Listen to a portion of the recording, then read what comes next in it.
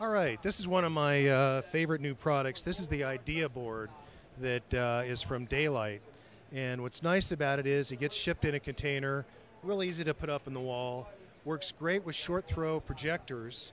Uh, in fact, if you use the, uh, the right quartet marker here, you can actually draw as a, as a dry erase board.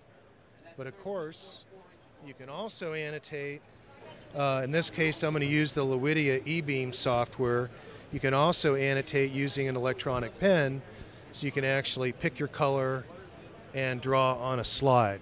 Um, so, for example, if you're going to do some collaboration and you're using something like PowerPoint and you want to emphasize some things, you want to actually uh, write some additional info um, to consider and uh, with Luidia, it's fairly easy to use. One of my preferences, uh, and they don't have it set up here, is to actually use the ink tools within Office.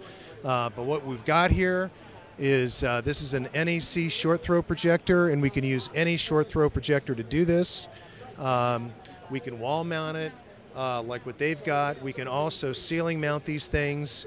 Uh, but the slick part is really this board, the fact that it's got a surface that's good for projection and also very good for dry erase.